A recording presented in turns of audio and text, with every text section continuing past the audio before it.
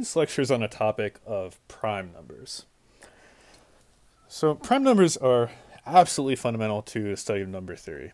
And the reason for that is they sort of form the multiplicative building blocks of all the natural numbers. Um, so, let's first decide what exactly we mean by prime. So, a natural number n is called prime. This is a definition. If it has, um, let's say, exactly two divisors. Exactly two divisors.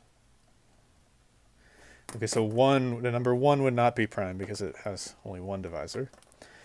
Um, what are those two divisors? So it would, I mean, certainly one would divide this natural number n and n itself would divide this natural number n.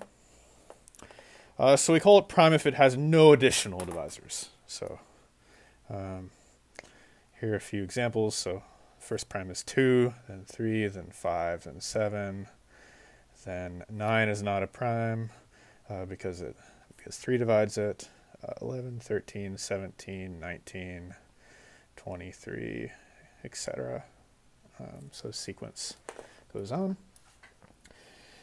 And uh, uh, one other term, so so uh, a number is called composite natural number, let's say. If it's not prime.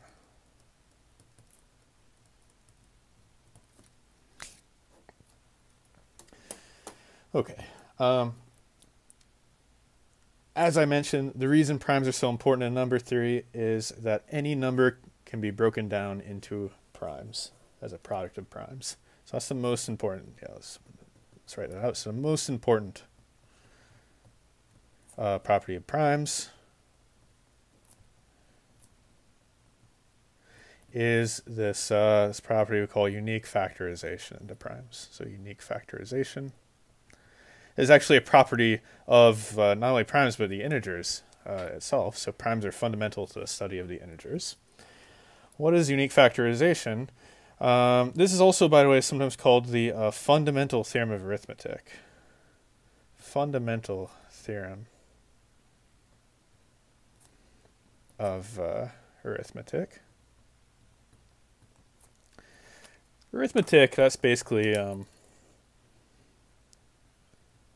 that means number theory.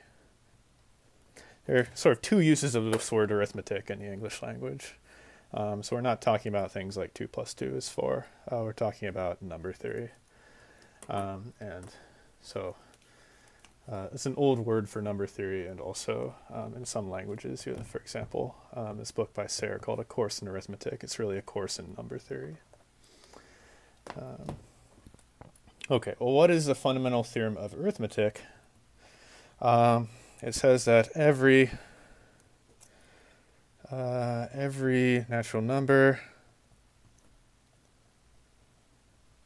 n uh, factors uniquely as a product of primes. Okay, so example 60 is not a prime. Uh, there are many things it's divisible by. Uh, but we can sort of break it down as a product of primes. And when you do that, you get this. You get 2 times 2, so 2 squared, times 3 times 5. Okay. So that's the factorization of 60 into primes.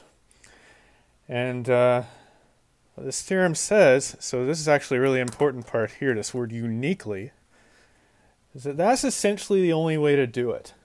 Um, and of course, so I'm, I'm, I'm, counting things like, for example, we can also write 60 as 5 times 2 times 3 times 2, but it's just the same factors uh, reordered. So really I should be saying factors uniquely as product of primes up to reordering.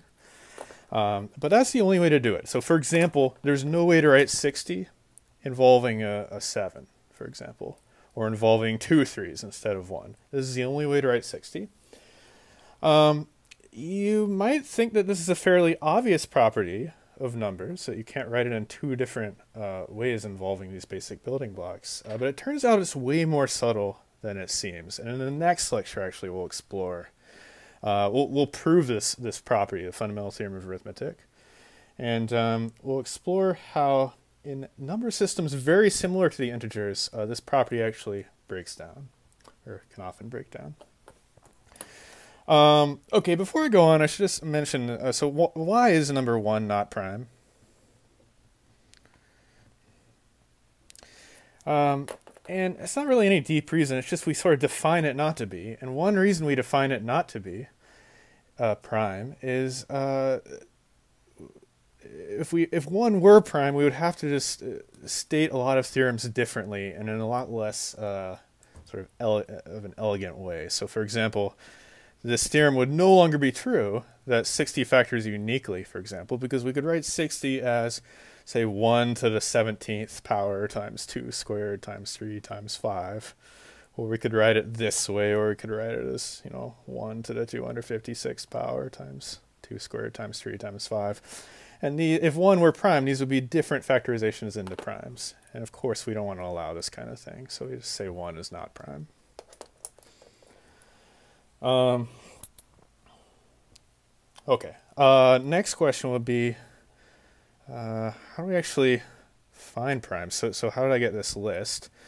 Um, well, honestly, I've, I've, just sort of memorized the first uh, first few of them, but at some point uh, I don't have them all memorized. So, so how would we find uh, all the prime numbers if they're so important?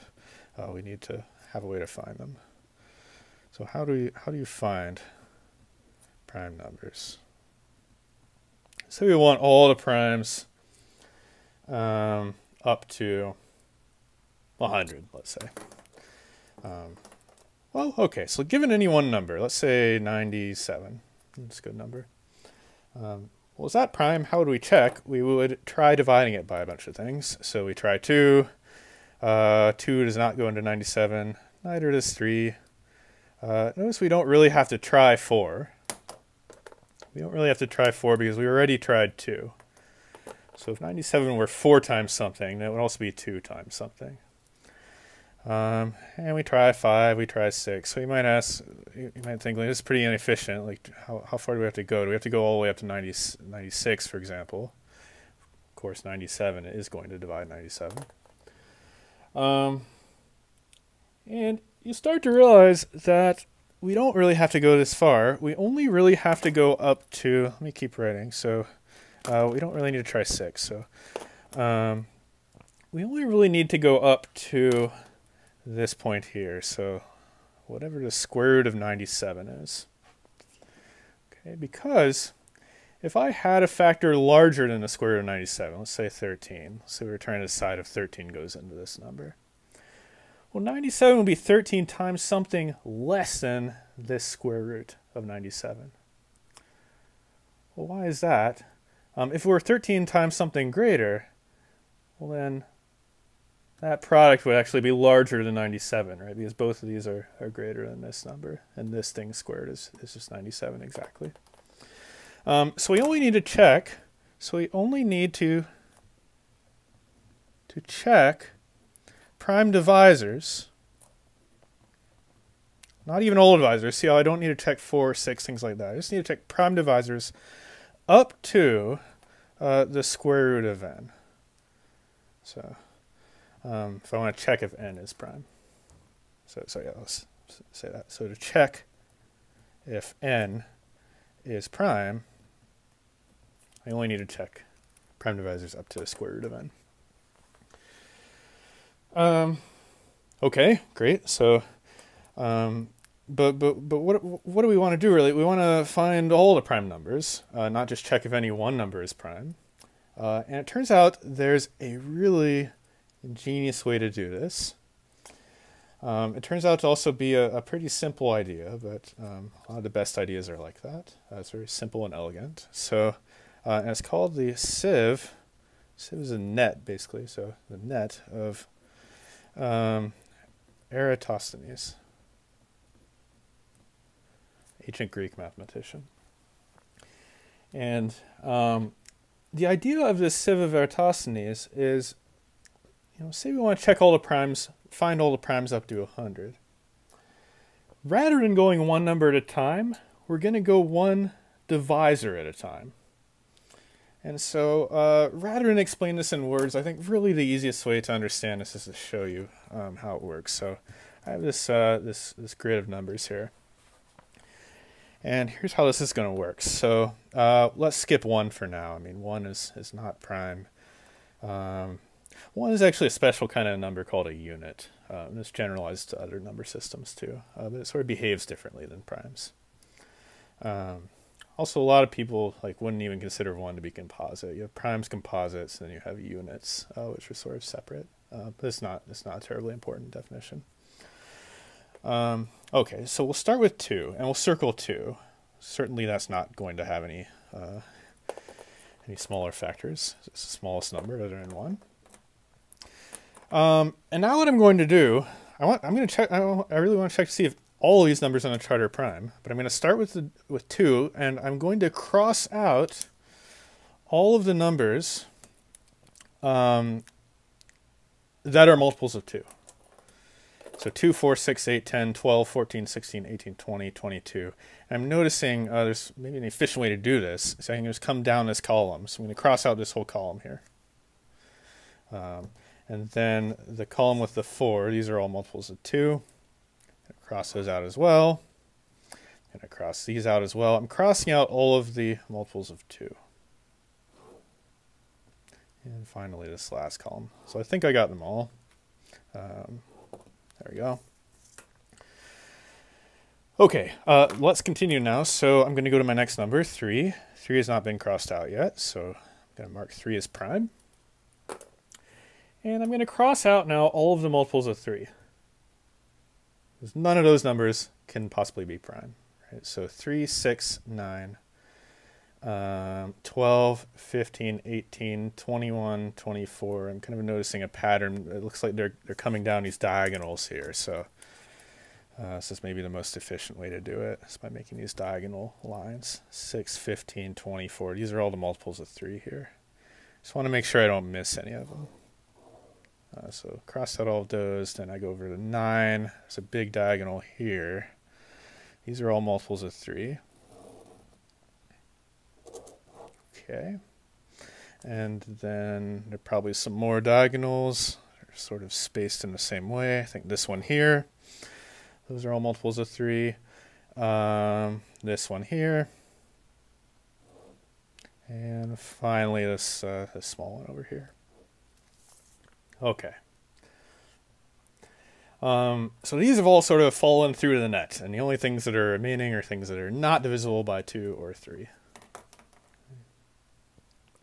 Uh, 4 has already been crossed out. We also want to cross out the multiples of 4, but notice those are, are also already crossed out because those are also multiples of 2. Right? So if we get something that's already crossed out, we don't need to cross out the multiples of 4. We've already done it. Uh, but we'll circle 5 that's a prime. Let's cross out the multiples of 5. That's going to be really easy. We just come down this line. Uh, this line has already been crossed out. And we come up to 7. 7 is prime. Uh, we want to cross out 14, 21. This is going to be a little trickier, but kind of want to go down this way. So 7, 14. I'll make sure I go right across the center of these numbers so it's obvious which ones I'm crossing out. Uh, and then 28, 35, 42. Uh, it was 42, so we're getting crossed out a lot of times. Um, 49, that has not been crossed out yet. 56, 63. So I want to have a line coming down like this. Uh, 70, 77, 84, 91. Uh, so 91 is going to get crossed out here. 91 is kind of a funny number because it's actually, I would say it's the smallest number that, that really looks like it's a prime, but actually isn't. It's 7 times uh, something. It's uh, 7 times 13. Um, okay, we crossed out all the multiples of 7, or did I miss one? I guess I did miss one down here. 98 It's technically a multiple of 7. It's already crossed out, though. It's just it's 7 more than uh, 91. Um, okay, here's the amazing thing. We are actually done. We're done because if we have any number up here, like 97, like I was showing earlier, okay, the only divisors we need to check are the ones that go up to the square root of 97. Notice the square root of 100 is 10, so it's really just this first row. After we check, after we cross out all the divisors of primes on the first row, we're done. And everything left, so I'll start circling them, everything left is going to be a prime. 29, 31, 37, 41, 43, 47, 53, 61, we've got 67 there. So the primes are the things that are not crossed out after crossing out all multiples of you know, things on the first row. So it's a really nice idea. Um, and 97. There we go. So these are all the primes up to 100. And we did that fairly quickly. Um, okay, so again, main idea of the sieve of Eratosthenes, is uh, we look at a bunch of numbers at once, and rather than consider the numbers one at a time, we consider possible divisors one at a time. So 2, 3, 5, 7, cross out all their multiples, and everything left is going to be a prime by this observation above. Okay, so next, I'd like to collect a bunch of facts about primes. So rather important uh, numbers. Uh, so facts about primes. And maybe let's start out with some of the more obvious ones. So, um, yeah, what do we know about primes? So, uh, all primes are odd, uh, except for 2. 2 is the only even prime. It's essentially just because it's so small. Um, all the other even numbers, essentially by definition, they're multiples of 2, so none of those are going to be prime. Um, okay. Uh, here's maybe a slightly more interesting one. So all primes uh, are adjacent to a multiple of 6 Uh, but again, there are a couple exceptions just because they're so small. So except uh, 2 and 3. Aside from that, they're all adjacent to a multiple of 6. We can see so 6, we've got 5 and 7 next to them. And then we have 11 and 13 next to 12. 18 has a couple primes next to it. 24 has a prime next to it. But all the primes are sort of clustering around the multiples of 6. Okay. I'm not saying they're primes around every multiple of 6, um, but I mean, uh, looking here, it, it appears that, that, there actually are, uh, but that's just because we haven't uh, gone high enough. Um, so all primes are adjacent to a multiple of 6, and this seems like a, a, a, a really uh, difficult thing to prove, but it's actually not so bad at all. So uh, why is this? Well, we look at the multiples of 6, so we can have a multiple of 6, or we can be 1 more than a multiple of 6, we can be 2 more than a multiple of 6, we can be 3 more than a multiple of 6, 4 more than a multiple of 6, 5 more than a multiple of 6, and then the next thing I write down will be the next multiple of 6. So these are sort of the possibilities uh, for any number. And uh, this one here is not prime. Definitely can't be prime. It's 6 times something. um, what about this one here, right? 6 uh, 6n plus 2, uh, these are both divisible by 2, right? So their sum is going to be divisible by 2. It's 2 times 3n plus 1. And similarly with this one, this is also divisible by 2. Makes sense, right? This is even, so these are going to be even. 3n plus 2. And this one right here is divisible by 3, always, right? Can write it like this. So these ones in here are also not prime. Um, unless n is very small, right? So unless n equals 0, and then that would correspond to the cases 2, 3, and 4, and so 2 and 3 are actually falling in that exceptional case there. Um, but you'll notice that these ones here are really the only ones that even have the potential to be prime. Okay, so this is actually not a deep statement at all. Um, you just consider, you know, the possible ways you can be off of a multiple of six, uh, you can differ by uh, from a multiple of six, and uh, four of these ways just can never be prime essentially. Um, here's another one. So all primes uh, end in one, three, seven, or nine. Right. So not only are they odd, uh, they can't end in a five. Um, the reason why should be uh, fairly obvious because in base 10, uh, if we end in a 5, we're going to be divisible by 5. Um, oops, I forgot to put except for uh, the number 5 itself. 5, five itself. Okay. Um, let's see, what other facts about primes? Um, all right, let's go to a big one. So this is this is proved by Euclid. Um, there are infinitely many primes. There are infinitely many primes. Um, if this is the first time you've heard this, uh, you might actually think like this. This seems really difficult uh, to prove, and maybe, maybe we don't even know how to prove it. But actually, turns out this is proved two thousand years ago. I'm actually going to show you the argument now. Um, well, so why might, what might we believe there are infinitely many primes? Um, well, here's a reason why why we might not believe there are infinitely many primes.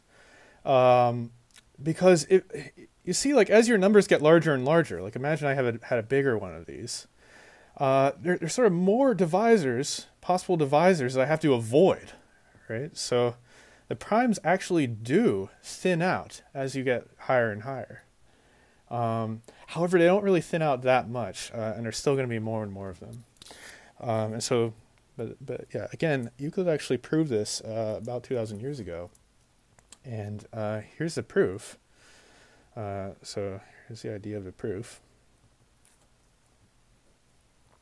Um, you suppose that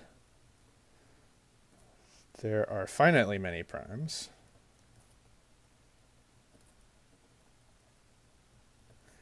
Um, okay. What are those primes? I'm going to write them all down. P1, P2, P3, um, dot, dot, dot. I'm not actually going to write them all down. Uh, but if there are finitely many primes, there's going to be a biggest one, right?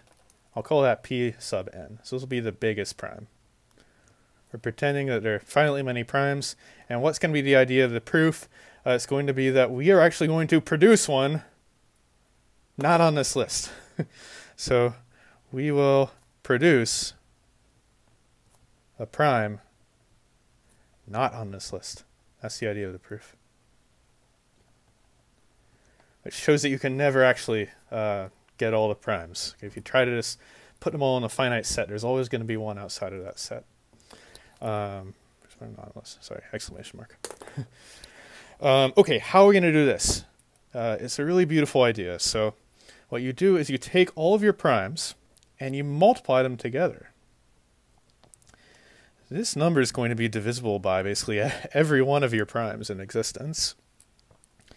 Okay, but here's the trick. You take that product and you add 1 to it. Okay. What happens when I add 1?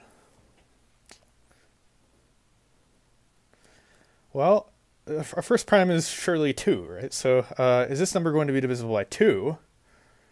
Well, no, because this part here is divisible by 2, but we're adding 1 to it, right? So we're 1 more than a multiple of 2. We're 1 more than a multiple of 3. We're 1 more than a multiple of 5. We're 1 more than a multiple of every prime. So this number here is actually not a multiple, not a multiple of any of our primes in existence.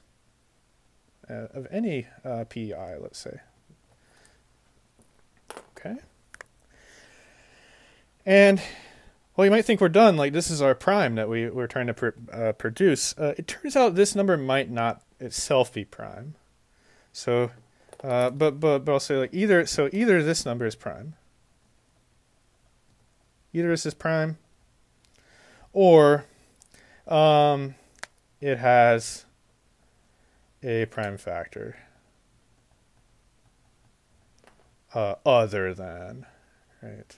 other than these P, P1, P2, P3, etc. Because it certainly doesn't have these prime factors, but it's possible that it could have another prime factor that's larger than these. Okay, or it's outside whatever set uh, we we choose. Yeah, so if we take all the primes, uh, we're going to produce actually a, a prime factor that's uh, not in this set. How do we know it's going to be a prime factor? Well, if it's not, you kind of just keep keep factoring. Uh, you keep going down until we write this number as its its um, as a product of prime factors, and those prime factors cannot be on this this list here by construction. Um, so that's it. Yeah, that's the proof. That proves that uh, there are infinitely many primes. Okay. Um, so um, essentially this this argument. Um, so often when you see like a beautiful idea like this in an argument, uh, as a mathematician, you'll try to sort of push this idea further. Maybe use the same idea um, in different ways. So, for example, um, here's here's here's maybe another example of this idea. So, um, let's try to prove there are infinitely many. Uh, we already know there are infinitely many primes, but let's say specifically of the form uh, 4n plus 3. Okay, so a prime can only be 4n plus 1 or 4n plus 3 because it can't be even, but it could be 1 more than a multiple of 4 or 3 more than a multiple of 4, and we actually see both of these cases. All right, so primes that are 1 more than a multiple of 4 it's like 5, uh, 13, 17, uh, 29, etc. Uh, primes that are 3 more than a multiple of 4, 7, uh, what else do we have? 11, 19, etc. Actually, if you write out uh, ones that are one more, one more in multiple of 4, three more in a multiple of 4, it appears they're approximately the same number of each, uh, which suggests that maybe there are infinitely many in both of those sets. Let's try to actually prove it. It's possible there might be finitely many like this and then infinitely many in the, uh, of the form 4 and plus 1. So let's actually try to prove this. The idea is suppose, same thing. So suppose there are finitely many primes of uh, the form 4n plus 3. And let's actually write out what they are. So P1, let's call them P2, P3, etc. Up to Pn. Here really P, P1 is something in a form, you know, 4n plus uh, 4, uh, 4n1 plus 3, 4 and 2 plus 3. Uh, so these are all of the form uh, 4n plus 3. I'm just going to take those ones. I know there are also ones of the form 4n plus 1, but I'm just going to take the primes of the form 4n plus 3, and I'm going to multiply them all together. Okay, multiply them all together. And uh, with Euclid's proof, we added 1. And the reason for that is we wanted to make sure that we produce something that's, you know, a prime that's not in our list. In our case now, we really want to produce a prime. So we're going to try to do the same thing. We want to produce something that's not one of these. But we want to produce a prime specifically of the form 4n plus 3. So here's my trick. I'm gonna I'm gonna try to produce something in a form four n plus three. Um, so for four n plus, uh, uh, I guess I could put a three there, but I, I think the way I'm actually gonna do it is um, I'm gonna do this instead. So four uh, four times all of them minus a one. Okay, because that's this is going to be of the form four n plus three. So this is of the form 4n plus 3. For some n, I won't use the same n, so 4k plus 3. Um, I put a minus 1 instead of a plus 3 because if I put a plus 3, then I have to worry about divisibility, divisibility by 3, things like that. Um, so uh, this ensures that this number here is actually not going to be divisible by any of these primes here, including 3. Okay, because it's 1 less than a multiple of all of these, if that makes sense. So for example, 7 is one of these. I have 4 times 7 times a bunch of other things. That's multiple of 7, but I'm subtracting 1 from it. Um, okay, so this is of the form 4k plus 3, and it's not divisible by any of the primes on our list, which is what we wanted. Um, however, we're not totally done yet, so this might be prime itself, or, so this might be prime. In that case, we're done, because we produced a prime of the form 4, 4k plus 3 that's not on our list, or uh, it's a product of primes.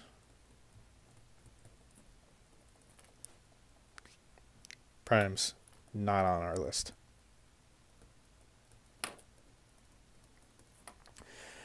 So does that prove it? Well, it actually doesn't, uh, because it's a product of primes not in our list. We didn't say what kind of primes those are, right? Do we have control over that? So they're, they're, they could all be primes of the form 4n plus 1. Um, it turns out that can't happen, but we have to we have to actually investigate that. So if uh, so if these primes, the, the product of primes that, that we can write this as, so if these primes are all of the form 4k plus 1, then uh, the product would uh, would have also been of this form.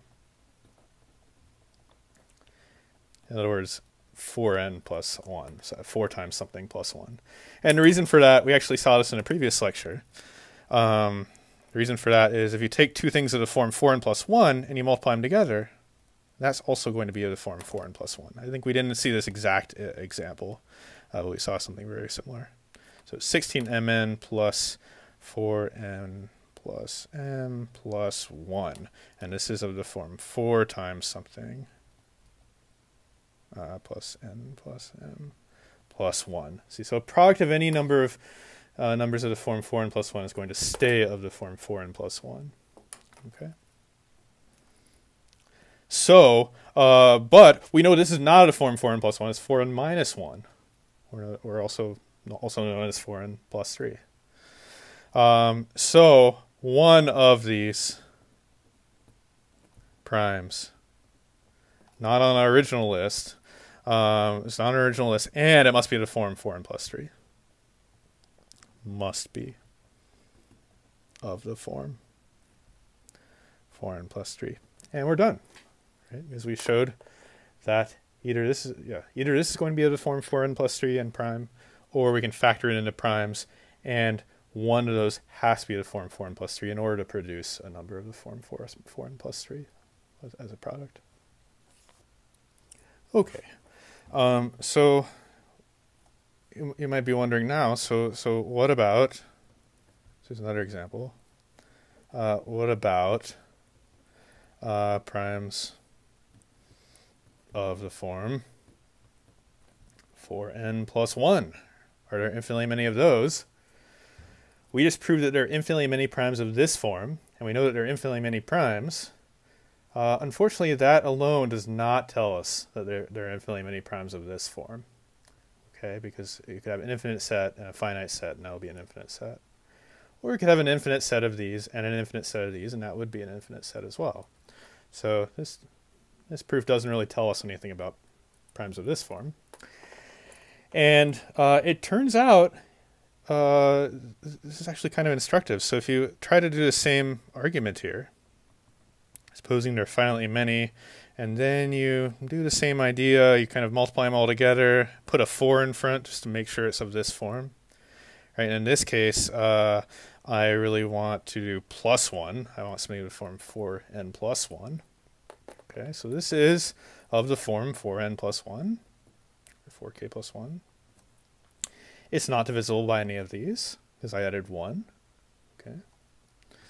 Um, Unfortunately, uh, this number could actually be a product of primes of the form 4n plus 3.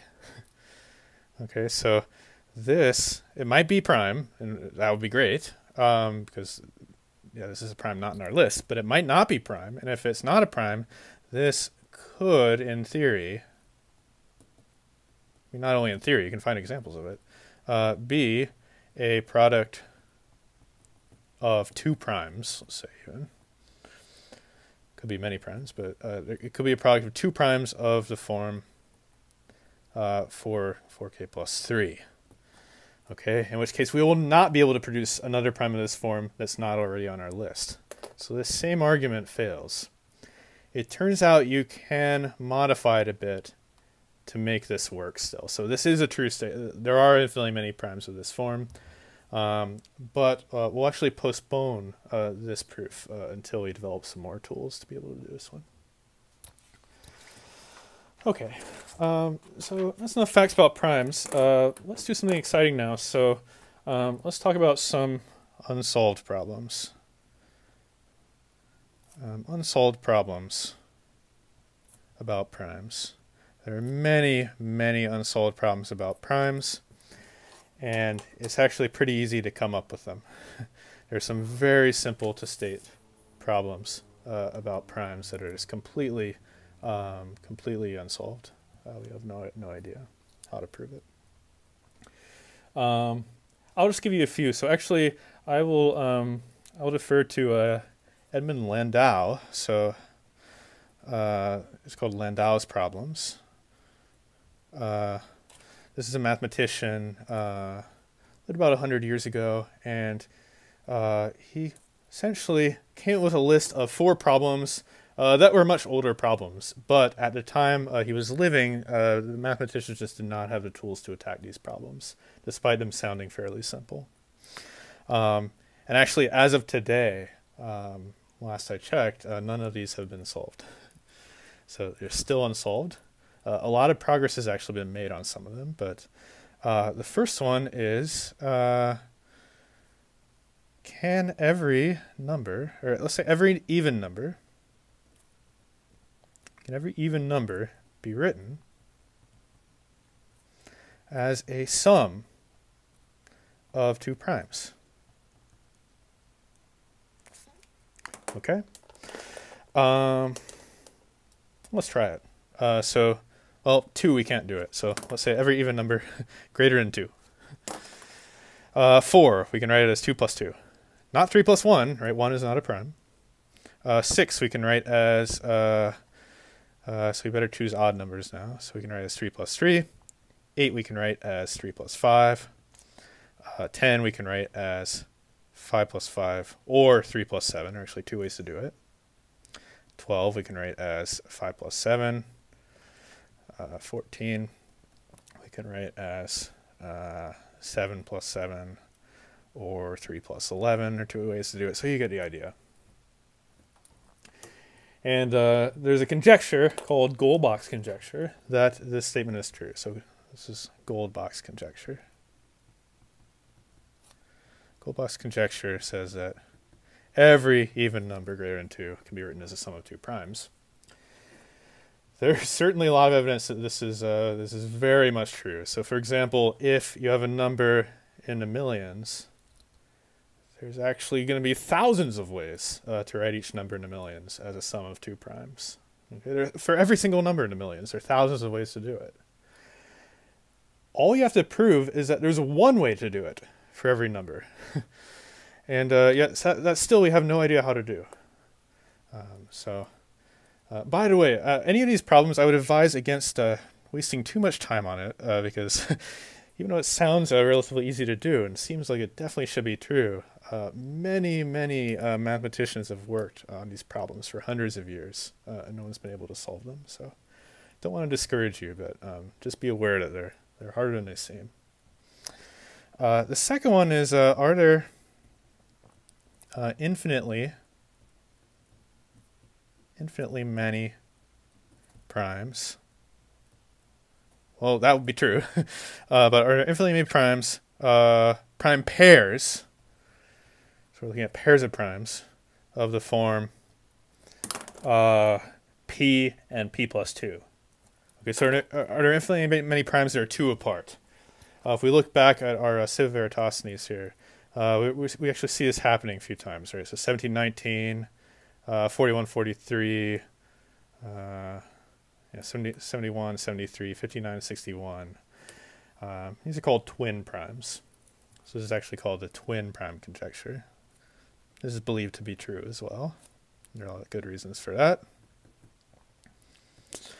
Um, recently, a lot of progress has been made on this problem. Uh, so somebody named Yitang Yitang Zhang in 2013 um, proved that there are infinitely many primes, prime pairs. Uh, so prime, yeah, primes, uh, yeah, prime pairs that are at most 70 million apart.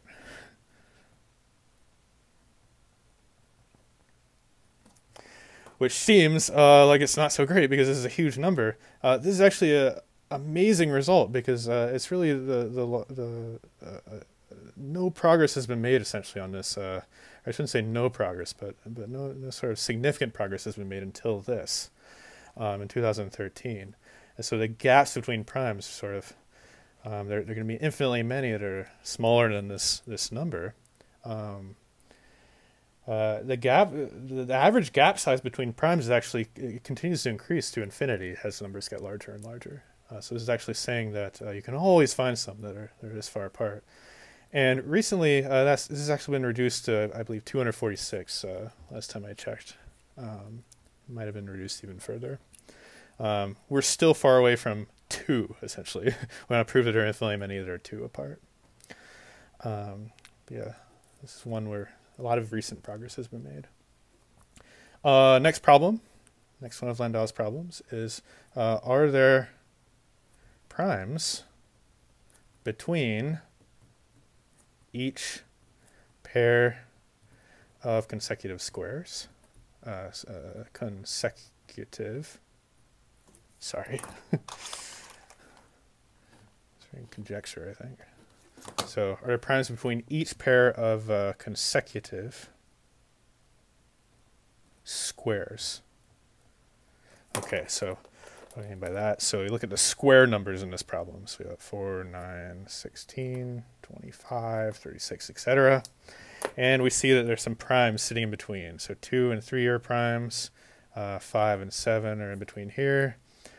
11, 13 are in between here. We've got 17, 19, 23 even. So it seems like actually there are quite, quite a few primes uh, in between uh, these pairs of consecutive squares.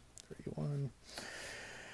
Um, this is almost cer certainly true. So it's the same as, uh, as number one, where if you look at uh, two, two very large squares, uh, there are many, many primes in between them.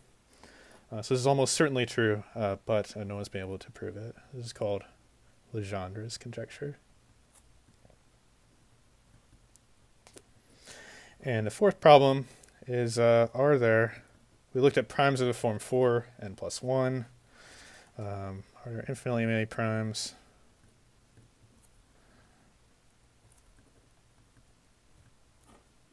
Um, of the form n squared plus 1. So we're infinitely many primes that are 1 more than a square. Let's look at the first few numbers of this form. Uh, what are they? So uh, 1, uh, 4 squared plus 1, or 4 plus 1 is 5. 10, I'm writing out the numbers that are 1 more than a square. 37, uh, 50, 65. Uh, should I keep going? I'll keep going a little bit. Uh, 101, okay. So this is a prime. That one's a prime. That one's a prime. Mm, not a prime. 82 is not a prime. 101 uh, is a prime. It's not obvious, but you have to check. Um, yeah, and so there's a conjecture that there are infinitely many. This is actually a, it's called Bunyakovsky's conjecture, but this is a special case, actually. Special case of uh, Bunyakovsky. Conjecture. Um, conjecture essentially says this for any quadratic polynomial that's capable of producing primes at least. There are quadratic polynomials that will never produce primes, or you know maybe only once or twice for small values. So so for example, we have n squared minus one. How many primes are there of this form? Well, we can write them out. So do the same thing as before. So three, uh, eight, 15. Just writing out all the numbers of n squared of the form n squared plus one. 35, 48, uh, 63, etc. Uh, you'll notice really none of these are prime, except 3. Um, and the reason for that, you can actually see it here. You can do some algebra here. So this is n plus 1 as factors, as a polynomial. n plus 1 times n minus 1. And this is actually telling you, you know, if n is large enough, you're going to get a factorization into two things, and neither of those will be 1. The reason that we got 3 still is because if you put in uh, n equals 2, then you'll just going to get 3 times 1. And that's, uh, that's not enough to show uh, 3 is prime. Uh, it has to have some other divisor. Um, okay, so these are four unsolved problems about primes. Uh, one thing I should mention is, you know, are there infinitely many primes if we do something like uh, of the form a, uh, if we do something of the form a n plus b, for example, you know, 4n plus 3, 10n plus 7. This would be saying, are there infinitely many primes of the form 10n plus 7? Are there infinitely many primes ending in 7 is what that's saying. Um, know, 6n plus 5, uh, 12n plus 1, things like this. Um, this question has actually been answered. And it turns out there are infinitely many primes of, a, of the form an plus b.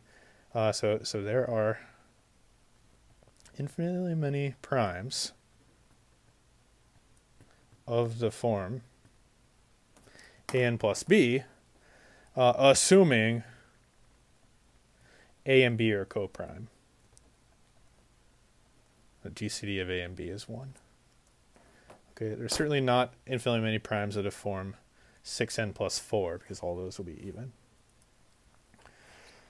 Okay, so so far in this lecture we've been looking at primes in the integers, it turns out that you can define uh, a concept of primes in other number systems as well. And so I'd like to look at one example of that. It's a rather fun example. These are called Gaussian primes. Gaussian primes, named after Gauss. And um, these are primes that live in the Gaussian integers. So what do we mean by that? So the Gaussian integers are um, all numbers of the form a plus bi, uh, where a and b are, are constrained to be integers.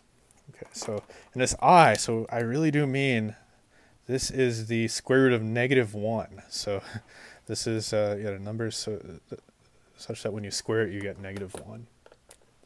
So these are imaginary numbers and they live on, the, so, so these are Gaussian integers, integers. Uh, they live on the complex plane. So let me just uh, sketch that really quick. So there's the complex plane. And the complex plane, you have a real axis and you have an imaginary axis. And the number for example, uh, 4 plus 3i lives right there. So 4 is the real part, I go across over 4, and 3 is the imaginary part, I go up 3. Uh, so here just uh, the usual integers. Uh, the usual integers are a subset of the Gaussian integers. Uh, but I also have a lot more uh, Gaussian integers. So have got i, 2i, etc can go up the imaginary axis. Um, okay, so these share a lot of properties with the integers. So I can add any of these, subtract them. I have additive inverses. Um, what else can I do? I can even multiply. I can multiply integers. Uh, we certainly need a notion of multiplication in order to talk about primes. Uh, so what happens if I multiply two Gaussian integers? So I get AC uh, plus uh, BCI plus ADI plus BDI squared. And uh, I squared, we remember, is negative 1. So this is actually AC minus BD, that's my real part, plus BC plus AD, I. That's my imaginary part. So the product of two Gaussian integers is again a Gaussian integer. Um, unfortunately, we can't divide these. If we do this divided by another Gaussian integer, uh, we might not end up with a Gaussian integer. These, these might become rational numbers. Um, actually, I said unfortunately. I should say fortunately, because that lets us uh, study primes. So a Gaussian prime is a prime in a Gaussian integer. But what do I mean by a prime in a Gaussian integer? We have to be a little careful. So is um, a Gaussian integer, so an element of z bracket i like that. That's how we denote the set of Gaussian integers. You can also say z adjoin i. Um, these, are, these are Gaussian integers. Um, that cannot be written it cannot be factored essentially, but how do exactly do we say it? So it cannot be written in the form. Um, let's call our Gaussian integer n. So we cannot write n as a product of two things, uh, unless one of these is one, or something that behaves like one. so what do I mean by that. So unless alpha or beta, so alpha or beta uh, belongs to this set. So we don't want them to be 1 or negative 1, so that's pretty boring. Uh, we also don't want them to be i or negative i. So why don't we want it to be i? That seems like an interesting factorization. Um, the reason is i essentially has an effect similar to negative 1 in a way. It's a little more interesting, but I'm going to put the negative numbers down here. So by multiplying 3 by negative 1, we just sort of uh, reflect over to negative 3. By multiplying 3 by i, you might have seen this before. So when you multiply by i, you essentially spin around by 9 degrees. That's that's all you do. So you, so you, you spin around, but you're the same distance from the origin. So 3 will actually go over here. Uh, okay, well, uh, yeah, 3, 3i. Uh, what if we multiply this one by i? We get uh, negative 3 plus 4i uh, lives over here. So you see how it's sort of spinning around. But you're not really breaking it up into two smaller Gaussian integers, two, one, two integers are down here. Uh, I is just sort of spinning around 90 degrees. Um, and uh, it's kind of, it's kind of uh, interesting to think about this because uh, multiplication by negative 1, you might view it as sort of reflecting on a number line. Really, it's more of a rotation by 180 degrees. So negative 1 is i squared. So you're multiplying by i twice. So this number, when you multiply by negative 1, it's not reflecting over here. It's spinning around 180 degrees. Um, anyway, yeah, so here's an example. Um, so 3 plus 2i turns out to be a Gaussian prime. Um, here's another example. Uh, the number 3 is a Gaussian prime. So 3 is a prime in the integers. It also happens to be a prime in the Gaussian integers. You can't break 3 down any further. Uh, so you might think, well, all integer primes are also Gaussian primes. That's not true, which is very interesting. So here's a non-example. So 5 is actually not a Gaussian prime. It's not a prime in the Gaussian integers. And that's because we can write it in this way. 2 plus i times 2 minus i. uh, so yeah, it's kind of neat. So 2 plus i is here, 2 minus i is there. If you multiply these two together, you get 5. Okay. Um, some more examples, like 1 plus i is a Gaussian prime. This one's also a Gaussian prime. Uh, if you multiply any of these by i or negative 1, anything like that, you still get Gaussian primes. Uh, 2 plus 2i is not a Gaussian prime because it's 2 times 1 plus i. Um, but you can sort of start filling in uh, Gaussian primes. Uh, 3 is a Gaussian prime. And uh, and if you do that, you get, uh, let me find this picture. Um, you get a picture that looks like this. So what are we looking at here? We're looking at the Gaussian primes. So this is this is a complex plane here, and uh, this is the origin right here. So this is zero. And uh, if we go this way, we're just moving along the real number line. So 0, 1, 2, 3 are the integers. So there's 3. 3 is a Gaussian prime. 2 is actually not a Gaussian prime. It's 1 plus i times 1 minus i. You can check that. Um, uh, there's 3, there's 4. There's 4 plus 3i. It's not a Gaussian prime. So that's a good uh, good exercise. I mean, see if you can, you can find a factorization for that number. It's not a Gaussian prime. Um, Five is not a Gaussian prime. There's five right there in the middle of this little diamond. Uh, six, seven, seven is still a Gaussian prime. It turns out that everything of the form 4n plus 3 along the integers that was that was a prime is, is, is actually also going to be a Gaussian prime. Um,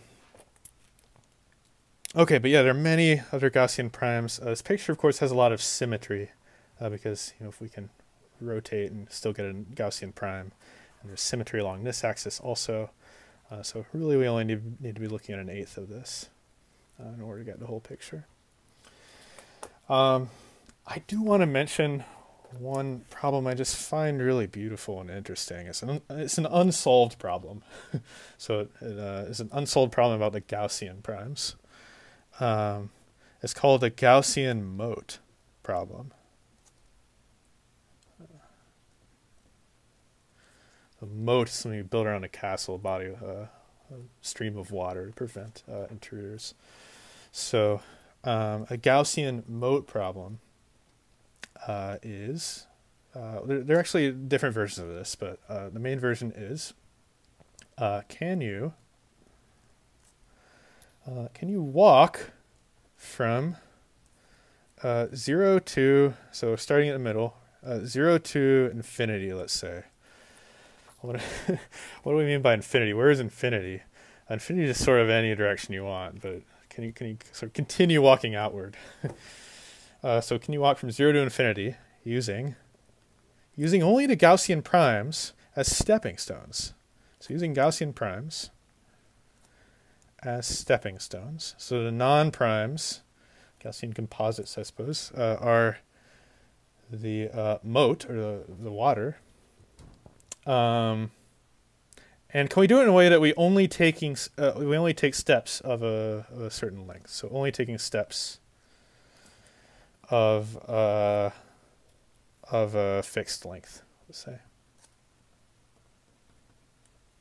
Okay, that's the Gaussian moat problem.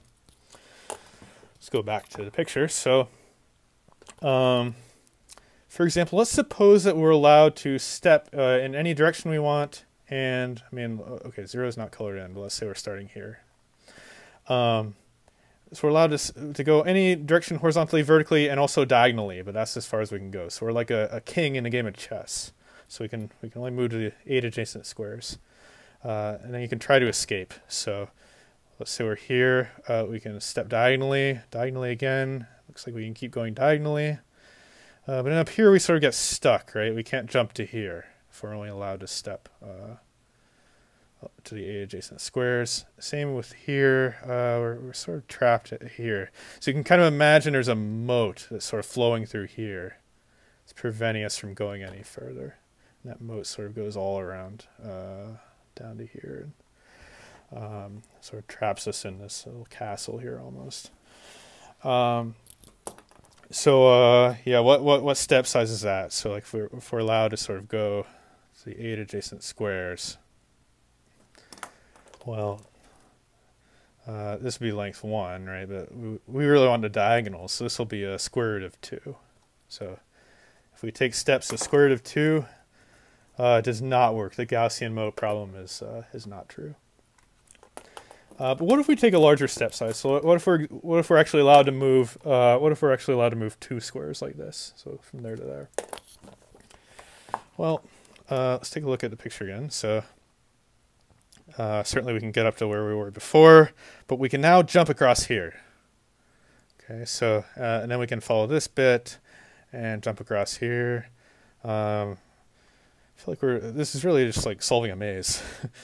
um, uh, and then you can jump across here and then here. Uh, it looks like we can we can escape, or can we? I think we get stuck here. Uh, no, we can actually go this way. We can jump there, there, there. Um, it turns out if I made this picture a little bit a little bit bigger, uh, we're gonna get stuck here. and you can try a different path, but uh, yeah, it, turn, it turns out you, you do eventually get stuck. And, and I think I think even if I just made this a little bit bigger, maybe maybe up to here, um, you'll see sort of where you get stuck. So there's another larger moat uh, sort of flowing through uh, this picture. So it turns out this is not going to work either. Um, but it does appear like there's some number. Uh, I think some people believe it's six. Uh, six steps uh, should be enough. If you can step up to six at a time, that should be enough to escape. Uh, but this is this has not been proven, so this is, this is still an unsolved problem. It's an interesting one to think about. Um, okay, so uh, I guess we'll end it there.